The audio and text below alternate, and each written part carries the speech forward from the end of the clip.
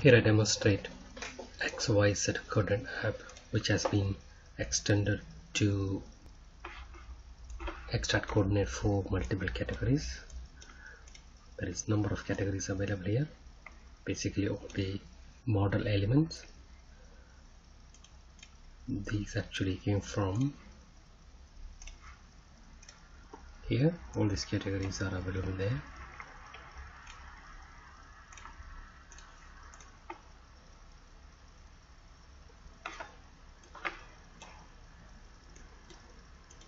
From the list select the category. You wanted to extract coordinate um, there is a limitation. Not all of the categories can be can extract xyz coordinate. For example this one here if you run that it won't work. So there are a number of categories I checked with like doors windows uh, basically all the model elements so in this model have doors so there are 30 doors in this project. We run that set and windows. Windows. Um, structure columns. Structure columns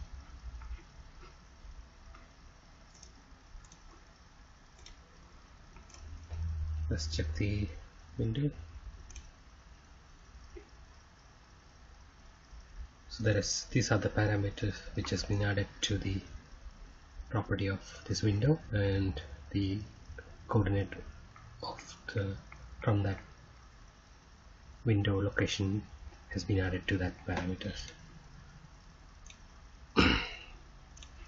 So these are the parameters added and then the location where that window is that coordinate has been added to that let's check the door similarly to the door as well. Here is another family which is a chair which we haven't done it so just going to do that now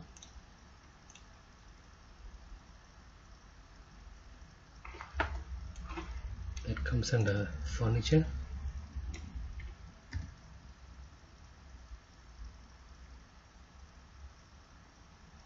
Furnitures and 137 chairs in there. So let's check that.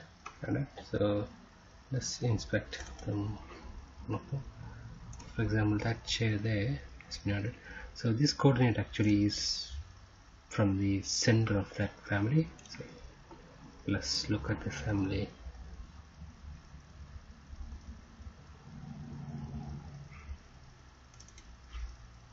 So it's been that point there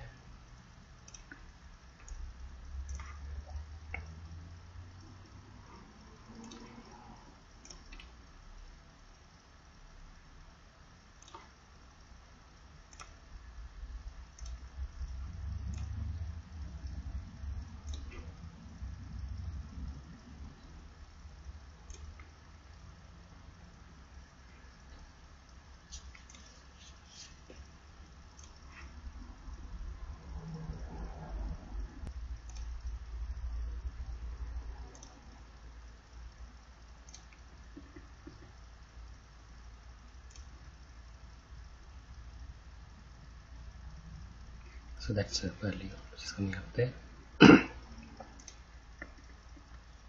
every time you when you relocate this element you have to rerun the app to update the values because this is just a shared parameter what is sitting there.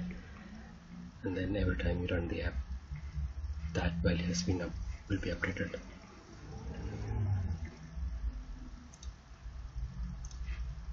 these share parameters here. Please don't update anything. Don't try to add anything to it at all.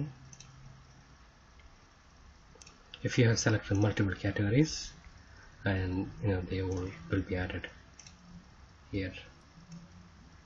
So for example there's windows there and furnish there uh, doors there so that that will all done programmatically by the software